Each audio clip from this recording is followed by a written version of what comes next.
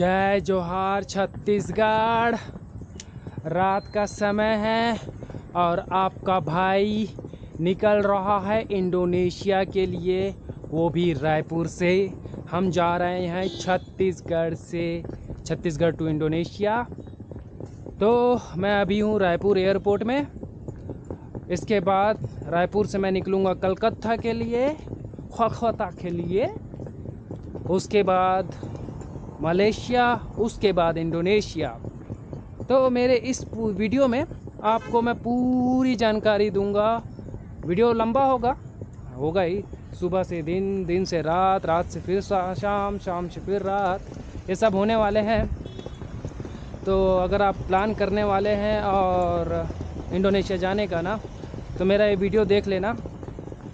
A to Z details मिलने वाला है, किधर से किधर एंट्री मिलने जाना है, किधर से वीज़ा लेना है, किधर से बोर्डिंग पास लेना है, ये पूरा डिटेल कैसे फ़्लाइट में बैठना है, क्या क्या क्या, ये सब मैं पूरा डिटेल आपको देने वाला हूँ। तो मेरे ना ये वीडियो पे ना बने रहिएगा, ठीक है? तो चलिए फिर हम रायपुर एयरपोर्ट इंटर करते हैं। मेरी फ़्लाइट कलकत्ता समय पर है। देखते हैं कितने देर तक समय पे रहता है या शेड्यूल पे निकलता है या नहीं निकलता है। लेट्स सी हाँ तो सिक्योरिटी चेकिंग वगैरह सब हो गया है। भाई, रायपुर के सिक्योरिटी वाले ना, बहुत सही है। मज़ा आता है उनसे बात करने में। तो प्लीज़ ज़्यादा भी हँसी मज़ाक मत कीजिए। रिस्पेक्ट कीजिए रिस्पेक्ट दीजिए, क्योंकि रायपुर की सिक्योरिटी एयरपोर्ट में बहुत अच्छे हैं, बहुत अच्छे लोग हैं। तो प्लीज़ आप भी रिस्पेक्ट बनाए रखिए। जो बोलते हैं इजीली कर दीजिए प्लीज़ हाँ क्योंकि मुझे मज़ा आता है रायपुर के एयरपोर्ट की सिक्योरिटी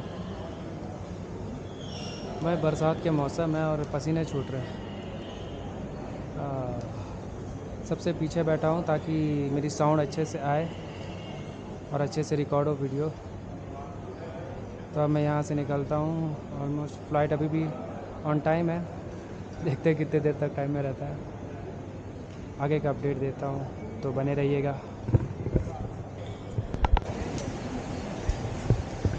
फ़्लाइट आखिर टाइम पे ही निकल रही है। बोर्डिंग चालू हो गई है। तो मेरा पहला फ़्लाइट कलकत्ता के लिए। तो मिलते हैं कलकत्ता में। अपने निर्धारित सीटों के ऊपर वाले ओवरहेड बिन्स में और छोटे बैग्स को सामने वाली कुर्सी के नीचे रख दें। उड़ान के दौरान आप अपनी निर्धारित सीट में ही बैठे रहें। धन्यवाद।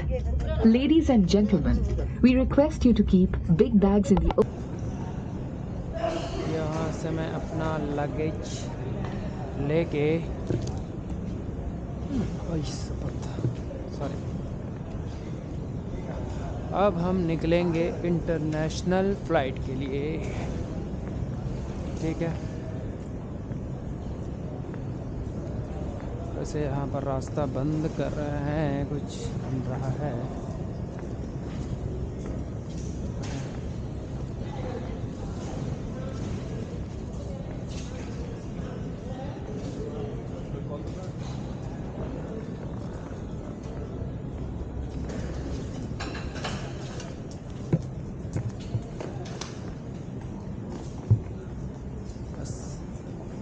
एयरपोर्ट से निकला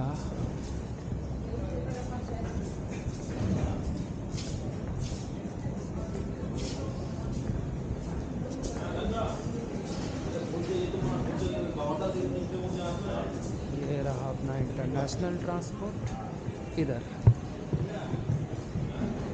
और इधर से सीधा बाहर। तो जैसे कि मैंने दिखाया आपको इसी एयरपोर्ट में ही मैं डोमेस्टिक एयरपोर्ट डोमेस्टिक में लैंडेड हुआ। और जो इंटरनेशनल ट्रांसफ़र है, वो सीधा अपने को एयरपोर्ट से बिना बाहर निकले ही, मैं अंदर ही अंदर जो आप एरिया देख रहे हो, इस एरिया में जस्ट ऊपर चढ़ा और जस्ट आगे ही इंटरनेशनल एयरपोर्ट है ट्रांजिट है। डोमेस्टिक ट्रांजिट भी है, दोनों ही ऊपर से कर सकते हैं।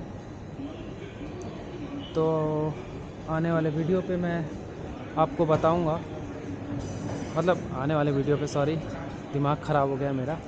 मतलब अभी मेरे वीडियो पे आगे आपको बताऊँगा कि अब इंटरनेशनली जो है ट्रैवलिंग मैं कैसे फ़्लाइट ले रहा हूँ, क्या है। तो सबसे पहले डिटेल मैं फिर से पहले बोलता हूँ। जय जोहार, छत्तीसगढ़। स्टार्टिंग में मैं अच्छे से नहीं बोल पाया था तो मैं फिर से अपने आप को इंट्रो करता हूँ। तो अभी मैं पहुँच चुका हूँ कलकत्ता और डोमेस्टिक लैंडेड कर चुका हूँ और इंटरनेशनल ट्रांसफ़र में मैं अब जाने वाला हूँ। और जाने से पहले कुछ इन्फॉर्मेशन देना था, इसलिए मैं ये वीडियो बना रहा हूँ। ठीक है? तो अब मेरा कुछ ही देर में मलेशिया के लिए निकलेगा फ़्लाइट तो मेरे को रायपुर से कलकत्ता की जो फ़्लाइट पड़ी थी, वो पाँच हज़ार रुपये पड़ी थी. तो आप बजट कैलकुलेट भी करते रहना और मैं आपको पूरा बजट वगैरह और बोर्डिंग पास वगैरह ये सब भी पूरा डिटेल्स मैं आपको शेयर करने वाला हूँ. तो अभी हम कलकत्ता तो पहुँच चुके हैं. अब यहाँ से हम जाएँगे बोर्डिंग पास लेने इंडोनेशिया के लिए. तो पहला boarding pass Calcutta to Kuala Lumpur Kuala Lumpur to Jakarta होगा। हाँ बहुत लंबा सफ़र होने वाला है। आ, वैसे ही शाम को निकला हूँ। मेरी फ़्लाइट थी रायपुर से कलकत्ता के लिए 8:30 को और अभी साढ़े दस बज रहे हैं। और कोलालमपुर के लिए फ़्लाइट है मेरे को रात को एक बजे। और मैं कोलालमपुर के टाइम के हिसाब से मैं साढ़े सात तक मैं देखता हूँ यार भूल गया हूँ। कितना कितना बजे पहुँचूँगा? इतने सारे फ़्लाइट लेने हैं अभी मेरे को कंटिन्यूसली हाँ तो ये है कि भाई जो कलकत्ता एयरपोर्ट में आप लैंडेड हो गए ना एयरपोर्ट चेंज करने की ज़रूरत नहीं है। यहीं पर से आप ट्रांजिट हो सकते हो। कलकत्ता में सिर्फ़ एक ही एयरपोर्ट है तो बस ये इन्फॉर्मेशन देना था। अगर आपके पास लगेज है लगेज लो और ट्रांजिट सीधा आप लगेज काउंटर से बाहर निकलिए लेफ़्ट लीजिए, ऊपर चढ़िए और इंटरनेशनल एयरपोर्ट में इंटरी मारी है। तो ज़्यादा कंफ्यूजिंग वाला एयरपोर्ट है नहीं, बहुत सिंपल है। और अगर आप छत्तीसगढ़ से आ रहे हैं तो आपके लिए तो बहुत इजी है भाई। और पहली बार सफ़र करें तो बहुत इजी है कलकत्ता का इंटरनेशनल एयरपोर्ट डोमेस्टिक से इंटरनेशनल एयरपोर्ट में जाने के लिए कोई खर्चा नहीं है। सीधा सीधा एक फ्लोर बस चढ़ाना है। तो बस ये इन्फॉर्मेशन देना था। अब मैं बोर्डिंग पास वगैरह और इंटरनेशनल एयरपोर्ट में एंट्री करता हूँ। तो वो सब मैं वीडियो बनाता हूँ। हम कलकत्ता एयरपोर्ट के बाहर है। ये जो बाहर आप देख रहे हैं ये कलकत्ता एयरपोर्ट है। क्योंकि मेरे फ़्लाइट को टाइम है तो मैं थोड़ा बाहर निकल गया। वैसे क्यों बात कर रहा हूँ? नॉर्मल बात करते हैं? थोड़ा एंटरटेनिंग रे बाबा। क्या ब्लॉग ब्लॉग करेगा? थोड़ा बोर हो था मेरे ब्लॉग में। अच्छा। तो मैं अभी थोड़ा बाहर साइड निकला हूँ क्योंकि मेरे फ़्लाइट में टाइम है। अरे भाई, बस कर ले यार। कितना पैपाँ पैपाँ करोगे? तो मेरे फ़्लाइट को अभी टाइम है तीन घंटा। तो बोर्डिंग खुला नहीं है। तो खुला नहीं है तो मैं थोड़े बाहर के मौसम का मज़ा ले लेता हूँ। इसीलिए मैं थोड़ा बाहर निकल गया और थोड़ा आप लोग को इन्फॉर्मेशन और क्लियरली क्लियर इन्फॉर्मेशन दे दूँ। तो मैं रायपुर से कलकत्ता के लिए फ़्लाइट लिया। ऑलमोस्ट साढ़े आठ बजे की फ़्लाइट थी और मैं यहाँ पर दस बजे पहुँच चुका हूँ। इंडिगो फ़्लाइट थी, मेरी फ़्लाइट प्राइस थी पाँच हज़ार रुपये। अब मैं हूँ कलकत्ता एयरपोर्ट में और कलकत्ता एयरपोर्ट से मेरी फ़्लाइट है कोलालमपुर के लिए बारह बजकर पैंतालीस मिनट। और अभी ऑलमोस्ट सवा दस हो रहा है तो ऑलमोस्ट पंद्रह से बीस मिनट में बोर्डिंग खुल जाएगा। तो बोर्डिंग खुलेगा तो मैं एंट्री मारूँगा। तो सबसे पहली फ़्लाइट लेना है, मेरे को कनेक्टिंग फ़्लाइट है Calcutta to Kuala Lumpur Kuala Lumpur to Jakarta. Indonesia के लिए मैंने लास्ट वीडियो में भी बताया था। इंडिया से कहीं भी डायरेक्ट फ़्लाइट नहीं है इंडोनेशिया के लिए। आपको कनेक्टिंग ही फ़्लाइट लेना पड़ता है, चाहे वो आप सिंगापुर के थ्रू जाओ, थाईलैंड के थ्रू जाओ या मलेशिया के थ्रू जाओ। कनेक्टिंग फ़्लाइट ही अवेलेबल है इंडोनेशिया के लिए। तो मैं छत्तीसगढ़ से ट्रैवल कर रहा हूँ। तो बढ़िया है कलकत्ता से जाने के लिए। कलकत्ता से आपको फ़्लाइट जो है सस्ती मिलेगी कंपेयर टू अदर जगह से। तो आप कलकत्ता से मलेशिया जा सकते हो, कल, इंडोनेशिया भी जा सकते हो, लेकिन कनेक्टिंग फ़्लाइट है तो सस्ता गिरता है। इंडो, कलकत्ता से मलेशिया, कलकत्ता से इंडोनेशिया, कलकत्ता से थाईलैंड तो बहुत पास है। ऑलमोस्ट दो घंटे में आप पहुँच जाते हो। और कलकत्ता से वियतनाम की भी डायरेक्ट फ़्लाइट है। इंडिया में सिर्फ़ कलकत्ता से ही वियतनाम के लिए जो डायरेक्ट फ़्लाइट है, सिर्फ़ कलकत्ता से ही डायरेक्ट फ़्लाइट मिलती है वियतनाम के लिए। तो वियतनाम भी मैं ट्रैवल करूँगा तो उसका भी ब्लॉग ज़रूर आएगा। तो बने रहिएगा भाई मेरे चैनल पे। अगर सब्सक्राइब नहीं किया और इस वीडियो को पहली बार देख रहे हो तो सब्सक्राइब भी कर देना भाई। ठीक है? और कहाँ जा सकते हो? कलकत्ता से। अगर आप छत्तीसगढ़ से और कलकत्ता से ट्रैवल कर रहे हो तो वियतनाम हो गया। कलकत्ता से सिंगापुर भी है, और कलकत्ता से फिलीपींस भी है, और मतलब ये जो कंट्रीज़ है ना, कलकत्ता से आपको चीप रेट में मतलब फ़्लाइट मिलती है।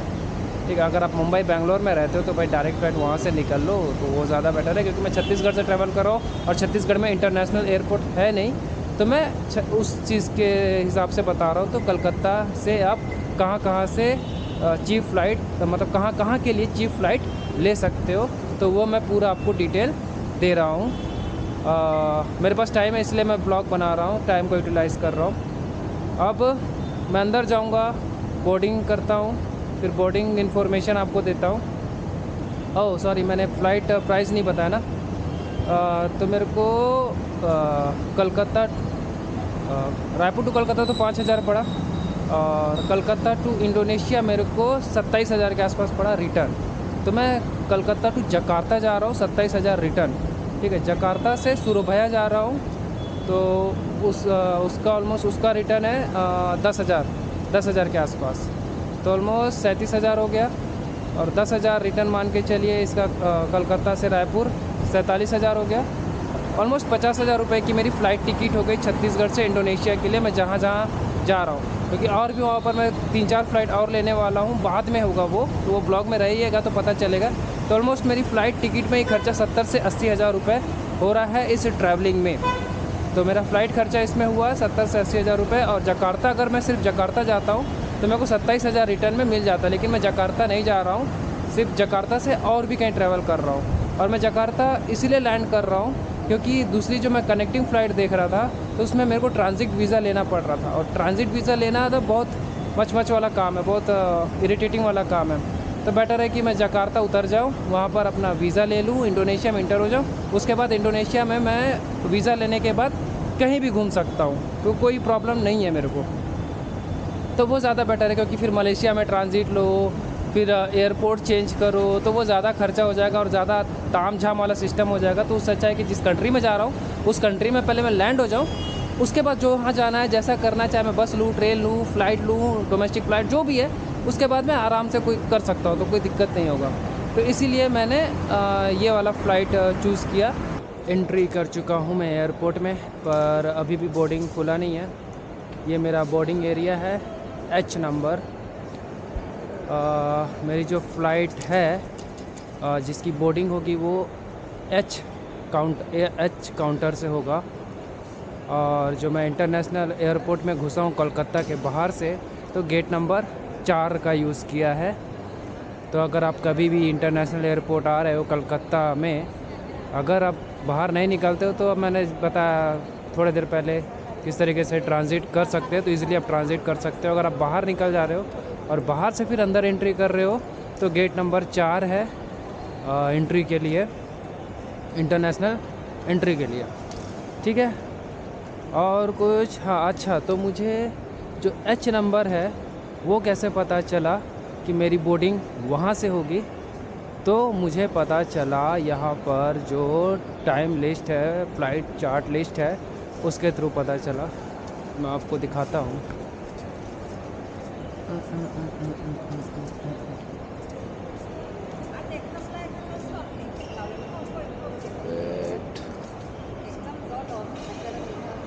अभी आएगा।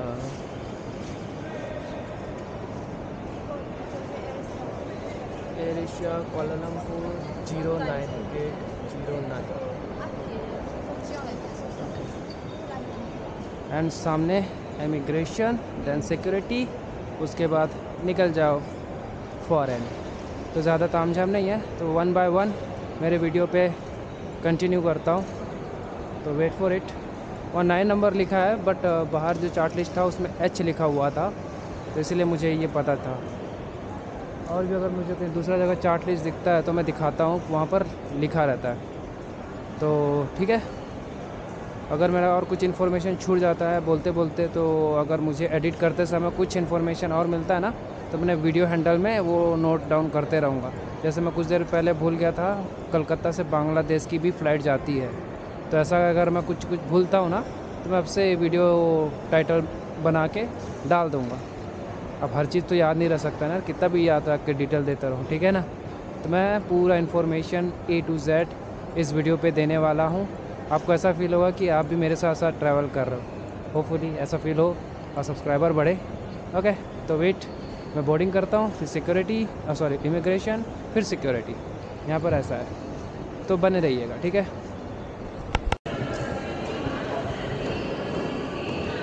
तो मैंने सिक्योरिटी चेक कर लिया। यहाँ पर से जस्ट सिक्योरिटी ख़त्म हुआ। और मेरे जस्ट पीछे आप इंटरनेशनल सिम भी ख़रीद सकते हो, अगर आपको ख़रीदना है। नहीं तो इंटरनेशनल रिचार्ज कर लो या वहाँ जाके सिम ख़रीद सकते हो बट जस्ट सिक्योरिटी ख़त्म होने के बाद इंटरनेशनल सिम है और यहाँ पर दुकानें हैं और जस्ट आगे पूरा बोर्डिंग गेट है। ठीक है? तो ज़्यादा कंफ्यूज मत हुई और ज़्यादा नर्वस भी ना होइए, क्योंकि मेरे साथ एक एक, मुझे एक जन मिला जो बहुत नर्वस हो गए थे। पहली बार इंटरनेशनल ट्रैवल कर रहे थे मैंने उनको रिलैक्स करवाया चिल करवाया। कोई टेंशन नहीं है, बहुत इजीली हो जाता है। तो आप देख सकते हो। अब मैं एंट्री कर रहा हूँ यहाँ पर। लाइन से गेट है। लंबा एयरपोर्ट आइए कोलकाता एयरपोर्ट और चिल कीजिए।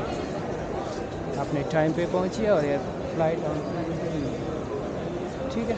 तो मैं थोड़ा बहुत शॉपिंग कर लेता हूँ, देख लेता हूँ। मेरा सब चीज़ टाइम पे हो चुका है और कुछ और डिटेल बताना होगा तो मैं आगे कोलालमपुर पहुँच के डिटेल्स बताता हूँ।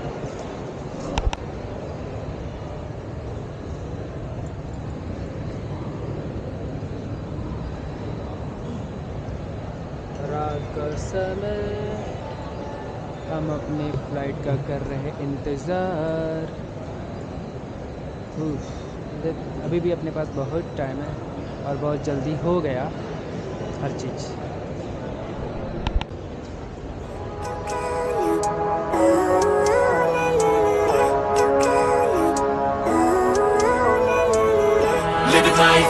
every day, late at night, not okay All I want, and I pray, all I need are some better days. Fuck me, I'm looking in the mirror. So foggy, but I've never seen clearer. I don't really think anyone can save me. And honestly, I'm not really sure I want saving. I like to be my own worst enemy. There's no risk if you don't try at anything. So I'ma just keep buying everything. See you in the next life, have to be a better me. I don't think that my head's on straight. Gotta flip it and grip it and go and get an x-ray. What's wrong with me? I just feel weight. Pushing on my chest and it squeezes till I suffocate. Better change my mindset, meditate. It's pretty cool that I'm alive and have better days. I could walk, see, hear, I should celebrate. Think I could change my mind, maybe elevate. Living life, everyday, late at night Not okay, all I want,